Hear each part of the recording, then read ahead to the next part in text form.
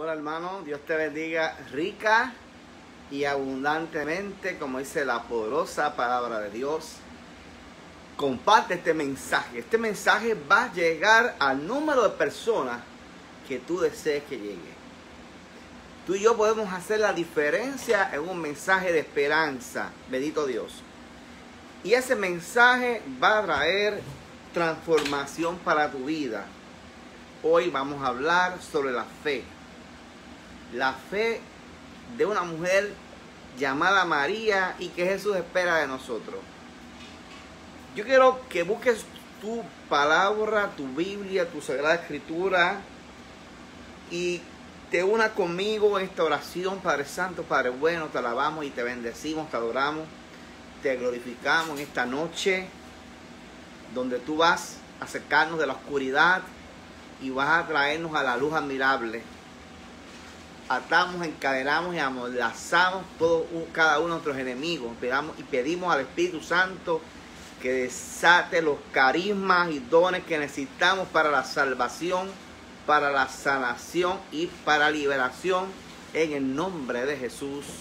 A que estas palabras caigan en terreno fértil y rinda fruto abundante en el nombre de Jesús, en esta garantía, en esta autoridad. Amén.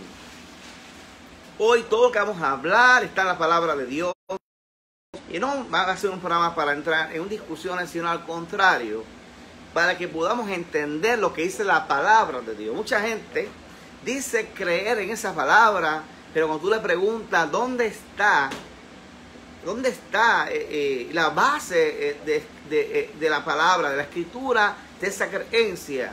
Y aunque muchos por fe tienen esa palabra regada, no saben buscarlo en la escritura y por eso muchas veces cuando vienen situaciones difíciles, cambian de fe, cambian de doctrina. Si yo no viene a hablar de doctrina, porque yo dejo eso a los que les gusta pelear por la doctrina. En Lucas capítulo 1, en el verso 26, dice que en el sexto mes, el ángel Gabriel fue enviado por Dios a Nazaret, a un pueblo de Galilea, a visitar a una virgen llamada María, que estaba comprometida en matrimonio con un hombre llamado José, varón descendiente del rey David.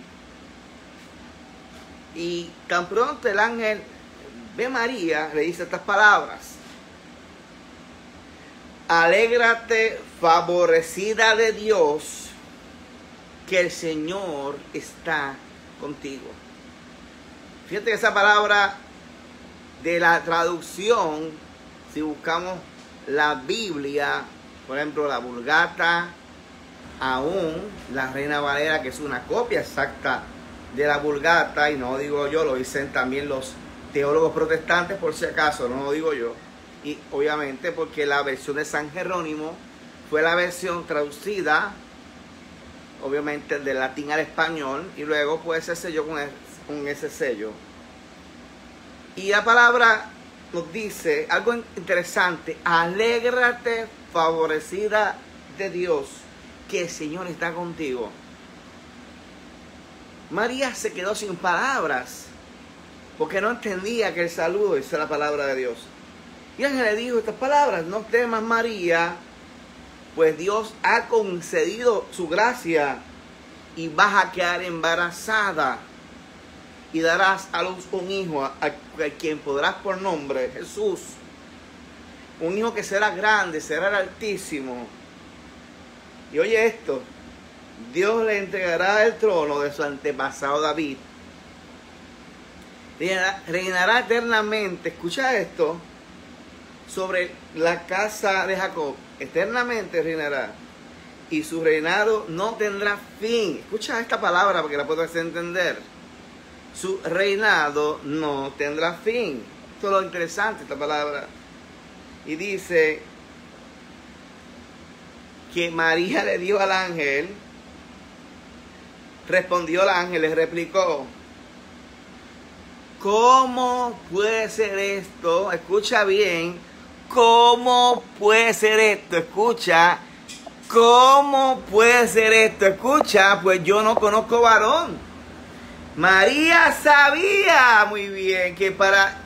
Oye, María no era de estas personas que, que son ignorantes y que muchas veces hace lo que otros les dice, sino que ella conocía la palabra, estaba en la comunidad de los escenios. Y ella le dice, mira, si yo para tener este, un embarazo, yo tengo que tener relaciones conyugales. Y es lo que le dice en esta versión, de esta versión bíblica original. Yo no he tenido relaciones conyugales con nadie. ¿Cómo puede suceder entonces esto? Por eso yo comencé diciendo que esta es la fe de María. Y a los que le digan tanto a María, la critican tanto y la blasfeman tanto y la rechazan tanto, es porque Satanás que Dios reprenda, odia a María porque María fue la que dijo el sí para que Jesús viniera al mundo. Porque fíjate que el ángel estaba esperando una respuesta. Y fíjate cómo ella le dice, yo no tengo relaciones conyugales con nadie, no ¿cómo puede ser que yo voy a quedar embarazada. Es decir, si yo te dijera a ti, si tú eras mujer o tú eres mujer, yo te voy, si te parece un ángel y dice, tú vas a quedar embarazada y vas a dar a luz al, al, Mesías, a la promesa de Dios, ¿qué tú dirías? Bueno, cuestionarías, dudarías. Primero que diría es, pero es que yo no tengo ni novio, ni tengo relaciones sexuales con nadie. Quiero que María responde al ángel. Y el ángel le contesta estas palabras. El Espíritu Santo vendrá sobre ti. Escuche bien para que la gente entienda, la gente ignorante, tuerca que se ha engañar por muchos pastores, incluso por sacerdotes que reniegan su fe que dudan de estas cosas también, porque esto pasa también a los católicos. El Espíritu Santo vendrá sobre ti y el poder del Altísimo te cubrirá con su sombra, te volverá. Es que esto no es cuestión de, de algo que la gente piensa en un momento, mi querido hermano, y la gente piensa y duda, es que yo tengo que ir confrontando la palabra. La palabra de Dios dice que cuando María misma pregunta esto, dice, yo conozco varón, Espíritu Santo, dice el ángel Gabriel. El Espíritu Santo te envolverá llena del Espíritu Santo y quedas embarazada del Espíritu Santo. Wow, hermano. Por eso el diablo odia a María y por eso hay gente que critica, señala tanto a María y hay mucha gente que dice ser católica y se ha dejado engañar hace siglos. Hay católicos que no creen y que no, no creen en la intercesión de María, no creen que María subió a los cielos, no creen que María fue virgen antes, durante y después, no lo creen tampoco. No creen, hermano, todo lo que está en la palabra. Lo han dudado porque un hombre cualquiera, un hombre de hueso, carne y hueso, un hombre que no tiene ningún propósito en la vida más que engañar, le ha dicho lo contrario. Pero yo no le creo a esos hombres ni a esas mujeres con grandes relojes y grandes aviones. Yo le creo a Jesucristo. Yo no le creo, yo no me convencí, yo nací en protestantismo. Sin embargo, yo no hice caso a mis pastores, yo no hice caso a los evangelistas. Yo busqué la propia palabra de Dios. Cuando yo veo un católico que dice, ah, ahora yo soy cristiano y ahora yo soy feliz, ahora yo conozco la palabra, yo siempre digo en mi mente, él nunca fue cristiano católico, él nunca conoció la palabra de Dios, nunca la entendió. Claro que esto tiene culpa a la iglesia muchas veces. Algunos sacerdotes no predican formación porque creen, dan por dado que la fe de la gente es segura. Y la fe de la gente tiene que sembrarse en la formación, el estudio de la palabra, en el ayuno, la oración, el estudio bíblico. Y eso es lo que muchas veces no tenemos en las iglesias católicas. Lamentablemente, no hay cursos de Biblia como un protocolo oficial, no lo hay. Solamente gente como yo, como Neil Vélez, quizá como Marta Reyes, como algunos predicadores, como quizá algunos sacerdotes como el Padre Manuel y otros que se, preocupan, pero no es algo, un protocolo oficial. Hay la catequesis, pero eso no es suficiente cuando hablamos de, en un mundo de tanta, de, contrario a la formación, es desinformación. Con tantas mentiras, con tanto sectarismo, con tanta gente ignorante, con tanto interpretando la palabra como le da la real gana. Es lamentable esto y la gente atropella la palabra de Dios. Yo te estoy hablando por la escritura, por la palabra de Dios. Hoy te estoy hablando por la palabra de Dios.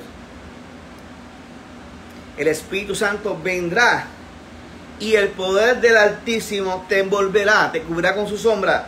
Por eso el niño que ha de nacer es santo, será el Hijo de Dios. Mira, si no Isabel, tu pariente, tu prima, a la, que consideraban estéril. Porque la gente, fíjate, Dios le dice a los hombres que hablan bajo consideraciones. Yo quiero que tú entiendas en esta noche. Los hombres piensan en protocolos, en especulaciones, en pronósticos, no en profecía, en pronósticos.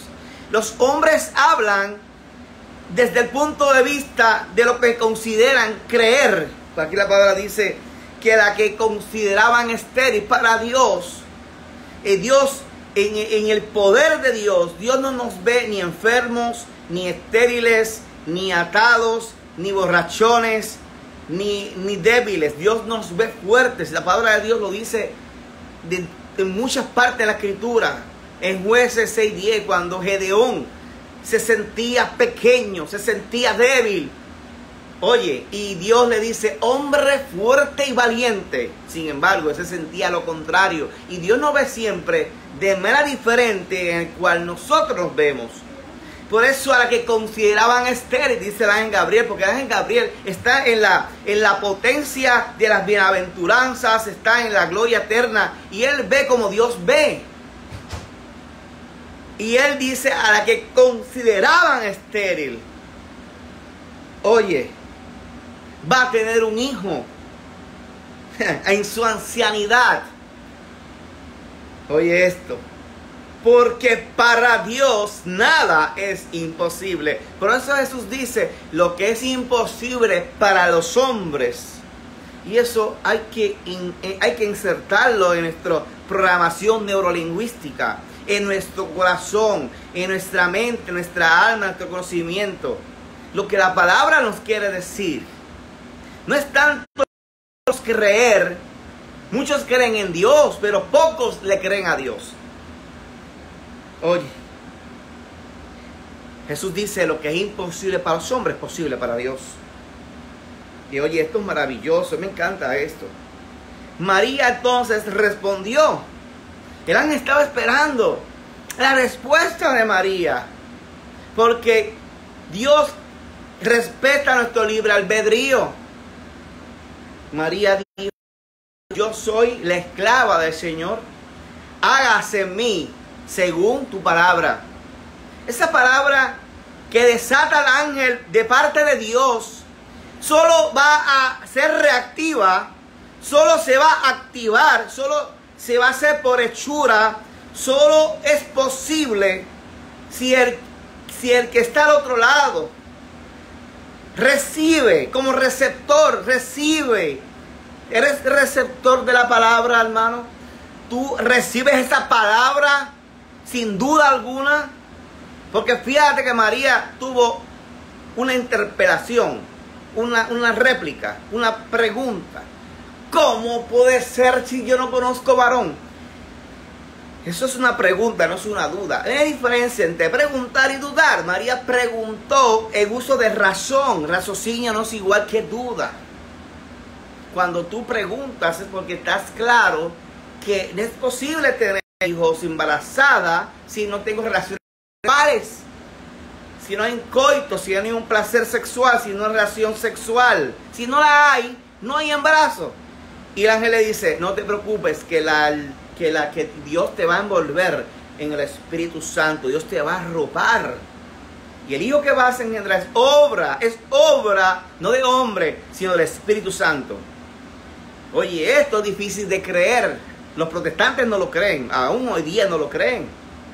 Dicen que ella tuvo relaciones con José, dicen que ella después que José, eh, José era un anciano ya hermano, no, no había Viagra, era un anciano enfermo, ya viejo.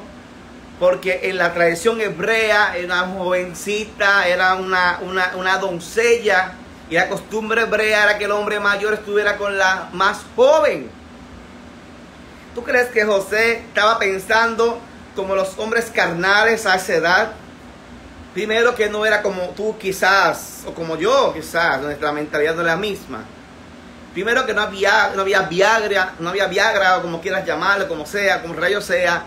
Oye, y, lo interesante es que, es que ella no tuvo más hijos.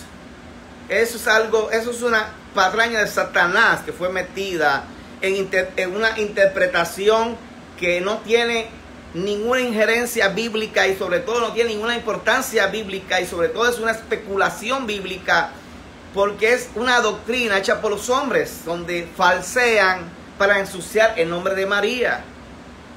Fíjate, ¿tú crees que alguien que es arropado por el Espíritu Santo tiene necesidad de eso? Aún más, aún si fuera así, yo siempre busco, como dicen abogado del diablo, poco una explicación. Mira, si fuera así, que no lo fue, pero ¿qué tiene de malo si hubiese sido así, que no lo fue? Porque no es el caso, pero si lo hubiese sido, vamos a ver, ¿qué tiene de malo tener más hijos de una relación sexual? Es que no tiene nada de malo. El sexo no es ningún pecado, es porque la gente ha tratado de, pero en la forma peyorativa que la gente lo lleva es por otro lado. Como si eso fuera malo y no lo es tampoco.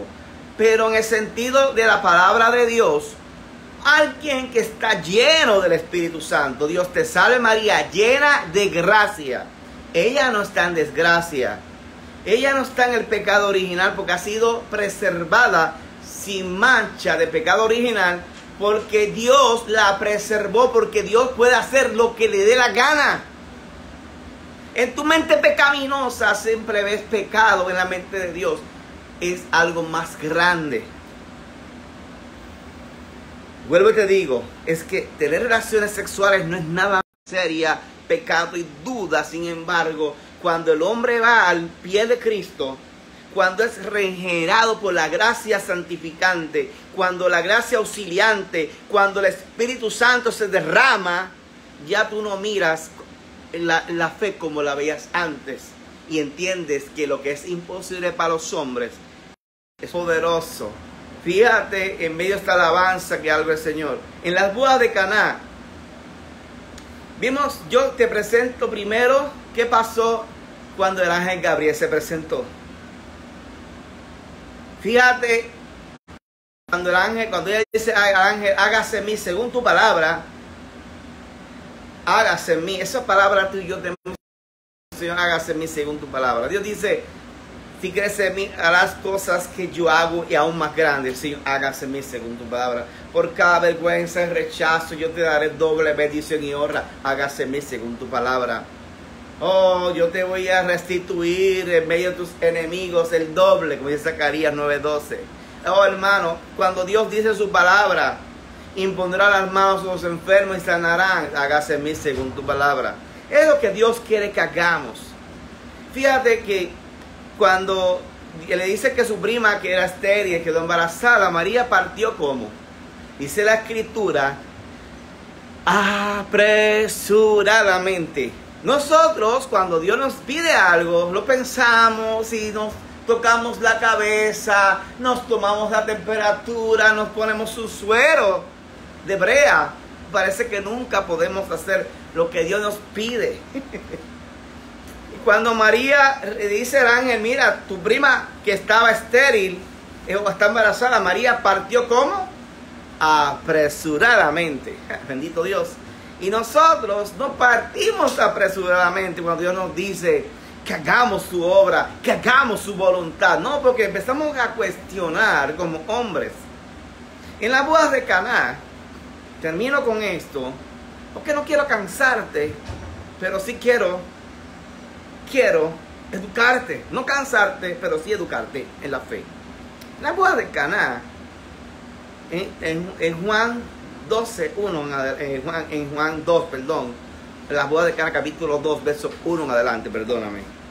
Dice Jesús que que fue invitado a unas bodas de Caná y allí, allí fue con su madre. Fíjate que primero que nada, ¿qué hijo va con su madre a un quinceañero, una boda hoy día? Muchos, muchos, muchos niños jóvenes se avergüenzan de ir con su madre, pero Jesús no se avergonzaba, porque Jesús sabe que si quieres ser próspero en tus empresas y tener larga vida en la tierra, tienes que honrar a tu padre y a tu madre. Bueno, eso es otro testimonio de Jesús.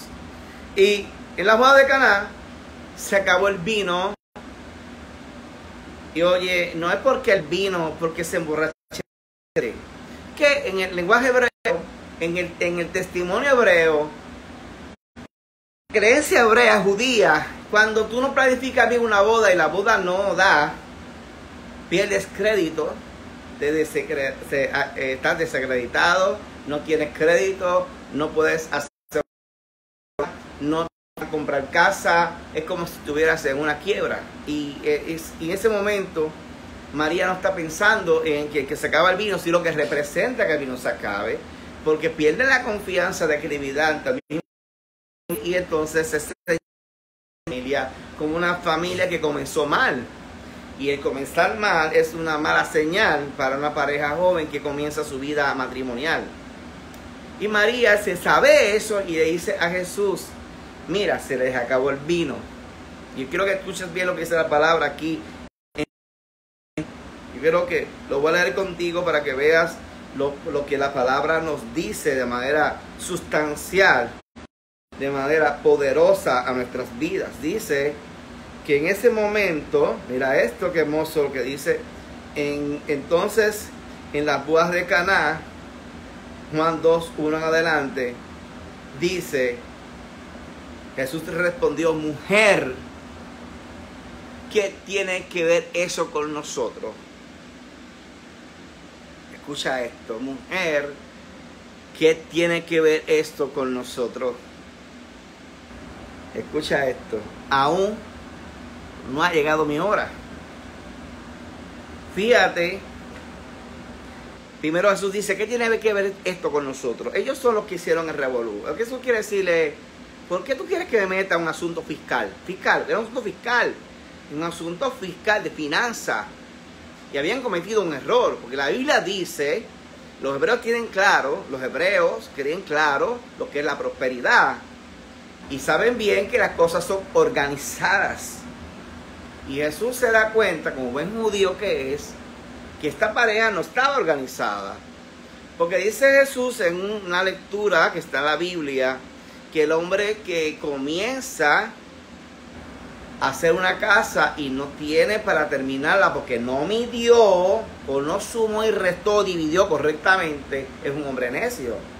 También habla en otro texto de la Biblia con un hombre que construye a la orilla del mar y eh, con el peligro de que las olas se lleven esa casa, que la casa debe estar sobre roca.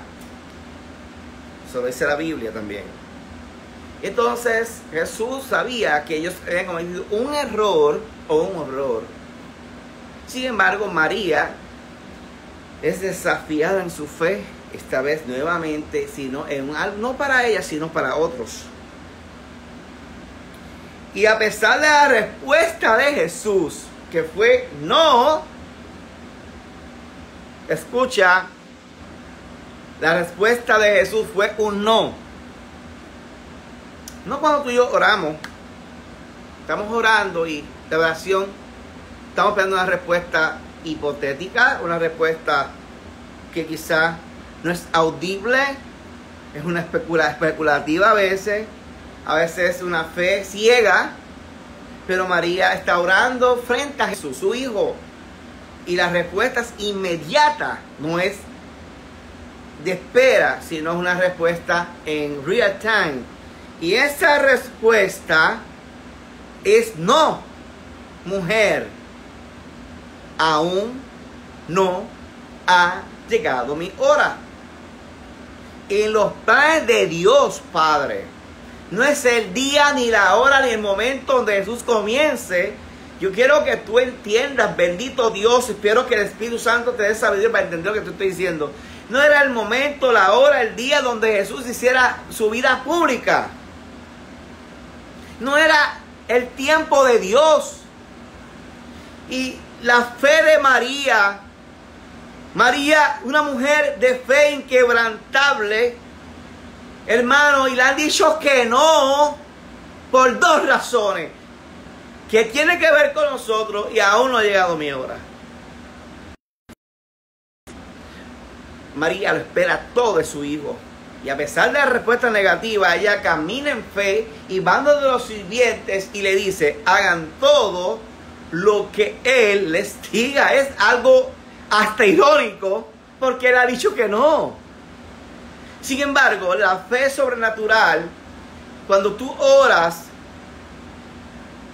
tú, la oración se trata de cambiar las cosas que estás viendo y empiezas a hablar de la manera contraria a lo que has visto. No sé si me estás entendiendo. La respuesta fue no y ella camina en fe, le dice a los sirvientes, hagan todo y señala a su hijo lo que él les diga. ¡Wow! Y eso comprende que María tiene una fe sobrenatural. Una fe que puede cambiar los planes, puede transformar el momento, hermano, porque ahí ya el ángel se lo había dicho anteriormente. Y el ángel le dijo, lo que es imposible para los hombres es posible para Dios. Jesús hombre había dicho que no, pero Dios Padre lo puede hacer sí, posible. Aún no ha llegado mi hora, dice Jesús, pero ella sabía que Dios puede cambiar las horas. Amén, ¿me estás entendiendo? Y ella lo dice, porque Jesús dijo en la palabra de Dios, según sea tu fe, según sea, sea tu pronunciación de tus palabras, así será hecho. Conforme a lo que dices, tendrás, dice Jesús. Así que María dice, haciéndole caso a Jesús, de otra predicación que había escuchado a su hijo, dice ella, hagan todo lo que Él les diga. ¡Wow, hermano! Y allí donde entonces Jesús le dice que que busquen las tinajas de la purificación. Y aquí rompe otro paradigma. La agua de la purificación es algo que los judíos respetaban demasiado en sus rituales, sus creencias, en sus dominios de fe. Y, wow, esta agua no se puede tocar, esta agua es solamente para purificación. Y Jesús quiere darnos otra enseñanza aquí. Aun cuando los recursos que tenemos sean tan sagrados que creemos, o tan ritualistas, o tan unos protocolos tan pesados. Pensamos que, que esos protocolos no pueden ser tocados o cambiados. Jesús nos muestra que para la salvación de una familia, y aquí está, nuestra mentalidad tiene que ser cambiada. Por eso dice Romanos 12, cambia tu manera de pensar y va a cambiar tu manera de vivir.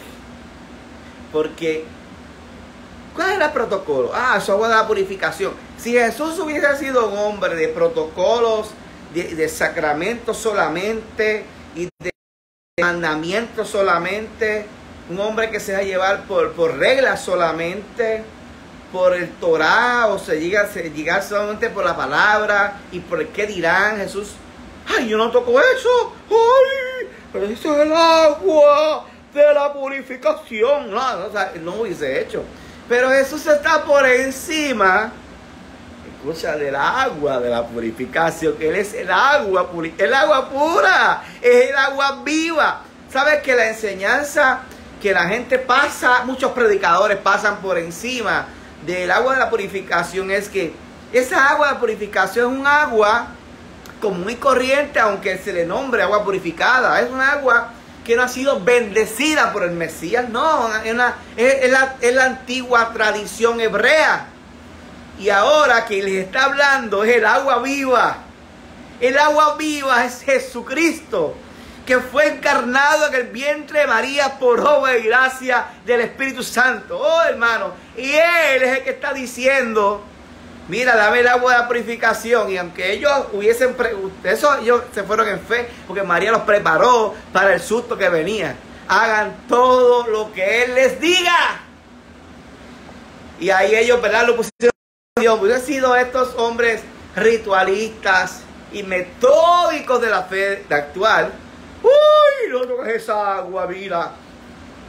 Pero Jesús, Jesús está diciendo, mira, yo soy el agua yo soy el agua viva. Esa agua es una agua física solamente, pero yo soy el agua viva. Y voy torrentes de agua del Espíritu Santo. Entonces, ahí donde rompe otro paradigma y eso muchas veces no lo pensamos. Ojo, y aprende algo, predicador. Entonces, en ese momento, en ese momento, que traen el agua, es agua, no es vino, es agua. Él cree que es vino y él bendice esa agua para que sea vino. Wow, un proceso de cambio químico. Wow, agua en vino. Y, fíjate que el maestresala, el que está a cargo de la boda, dice, muchos cuando están bebidos, cuando están borrachos, dan el peor vino. O sea, el primero dan el mejor vino y cuando están bebidos dan el otro para, que, para, para, para salir del paso. Pero tú has dado el mejor vino de principio y al final es el mejor vino. Es decir, es un milagro. Eso hace milagros de verdad. Eso es otra enseñanza de que el vino sabe mejor. Este vino que se supone que, sea, que, que se deja para último el peor vino la mentalidad hebrea era dejar el peor vino al final. Y esto es otra enseñanza. Y al final de tu vida Dios tiene algo mejor que antes. En el final de tu vida, cuando tú piensas que ya corriste y que ya no tienes oportunidades y que ya no hay oportunidad de hacer ejercicio, que ya no hay oportunidad de hacer libros, que no hay oportunidad de ser este, una influencer, que ya no tienes oportunidades para hacer, estudiar la maestría, doctorado, cuando tú piensas que ya no puedes romper récord de Guinness, cuando tú piensas que no puedes sacar six pack, cuando tú piensas que tú no puedes este, sacar cuatro puntos, cuando tú piensas que tú no puedes hacer algo que la, la ciencia lo reconozca, cuando tú piensas que tú no puedes recibir el premio Nobel de la Paz, cuando tú que tú no puedes gobernar un país, cuando tú piensas que no tienes sabiduría de lo alto, cuando tú piensas que tu matrimonio no puede restaurarse, cuando tú piensas que no puedes resolver ese problema de impotencia sexual, cuando tú piensas que no puedes cambiar tu presión arterial, cuando tú piensas que el problema de diabetes es imposible curarlo sin medicamentos, cuando tú piensas que no puedes cambiar la depresión a menos que un psiquiatra te todos los químicos que vienten en canto, cuando tú piensas que solo te puedes ir resolver un problema legal porque mejor abogado te defiende, cuando tú piensas que solamente tal partido puede gobernar, cuando tú piensas que solo a través de las conexiones eh, seculares que tú tienes, de los amiguitos que tienes, los problemas se pueden resolver. Y no es así. Cuando tú piensas, lo que Jesús quiere decirte, que lo que es imposible para los hombres es posible para Dios. Ay, te vas a quedar jamona, te vas a quedar jamona, te vas a quedar jamona. Y ellos dicen, no. El mejor vino, la gente, cuando la gente es joven, esto es otra enseñanza y la pasamos por alto. Cuando usted es joven, entonces ejercicio, de luces lindas, tú luces guapo y tú dices, María, ahora que puedo estudiar. Y entonces, cuando estás a la vejez, pues estás tirando últimos cartuchos y piensas que te vas a morir. Y Dios está diciendo a esa familia, eres joven y has comenzado mal, pero en este proceso yo te voy a multiplicar la bendición. Ese mensaje no era solamente para los de la boda, también era porque estaban allí viendo, cuando tú hacías un milagro, Jesús hacía un milagro, se bendecían, no un grupo, se bendecía la comunidad con su testimonio. Entonces Jesús dice, al principio nuestras esperanzas tienen lógica y al final o a mediados de nuestra vida, entre 40, 50, 60 años, 70 años, pensamos que ya no hay oportunidad en nuestras vidas. Sí, hay oportunidad. El vino puede ser saber bueno, el bueno la vida puede saber sabrosa a cualquier edad, es lo que Jesús nos quiere decir y la enseñanza que estaban allí. ¿No, ¿No sabes eso? Apunta a la predicador para que aprendas como aprendí yo. Aprender, yo aprendo todos los días. En el proceso, al final, dice que Jesús hizo su primer milagro de vida pública. Pero gracias a quién? A la fe de María. María cambió unos planes que iban a realizarse. Y por esta palabra que yo estoy predicando, mucha gente me ha, me ha cuestionado, me han tirado, me han enjuiciado. Pero que, mira, no es a mí que me enjuician, no es a mí que me tiran, es al Señor, porque yo solamente lo que he dicho, lo que está escrito en la palabra, no una interpretación propia, es la interpretación del magisterio de la iglesia, la interpretación de los antropólogos de la iglesia, de los teólogos, de los exegetas, de los biblistas y de la inspiración personal cuando tú oras y ayunas, Dios te habla a tu corazón, claro que sí, también eso. Dios no es un Dios de muertos, Dios de vivos. María demostró que cuando las cosas Dios dice que no, Dios puede decir que sí. María demostró que la oración cambia las cosas. Yo pido en esta noche, en un Puerto Rico, en un mundo que necesita ser transformado, en cielo nuevo, tierra nueva, pida al Señor que tu vida, sea cual sea tu necesidad, yo no la sé, pero Dios la sabe, pidamos que tengamos la fe de María, esa, esa fe que le espera a todo el Señor, que lo que es imposible para los hombres es posible para Dios, porque podemos decir con María, hágase mí según tu palabra, hagan todo lo que les diga. Comparte este video, a que otros conozcan la verdad. Y si conocen la verdad serán libres. Padre Santo, Padre bueno, gracias te doy por el ejemplo de María, palabra de los sirvientes que creyeron también en Jesús. Y a pareja que buscó ayuda, porque esa pareja buscó ayuda. Y Jesús allí hizo su primer milagro.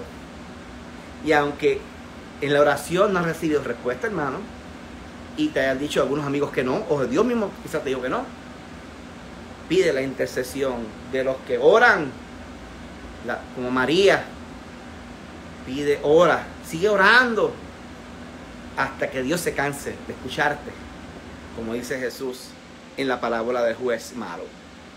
En el nombre de Jesús pido que esta palabra transforme tu vida y que a partir de hoy comience una vida diferente con un poder y una unción nueva que no lo que tú digas con tu padre, sino que la gente vea un testimonio de vida pido también para nosotros, todo me incluyo yo, necesito ver la gloria de Dios. Eso dijo, si crees en, no te he dicho que si crees en mí verás la gloria de Dios. Y esto fue lo que pasó en las bodas de Cana. Un abrazo virtual. Recuerda nuestros libros. Entra a reluco.com, en amazon.com están todas mis publicaciones, todos mis libros, ahí están todos y si quieres enviar pues, a TH Móvil, si quieres, si te da la gana, si crees que es justo que estos programas sigan, que la emisora radiocarisma.com siga transmitiendo desde el año 2002, estamos en el 2020, si lo crees que, si crees que el misterio vale la pena, si lo crees, si lo crees,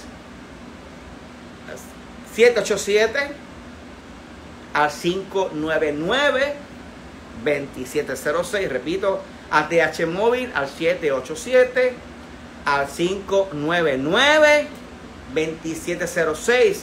Si tú eres, tú, eres, tú eres de los paypaleros, de los paypaleros, si te gusta PayPal, muy bien. Muy bien, paypaleros. Entra a radiocarima.com, botón de donaciones. Y en botón de donaciones puedes hacer tu donación a través de PayPal.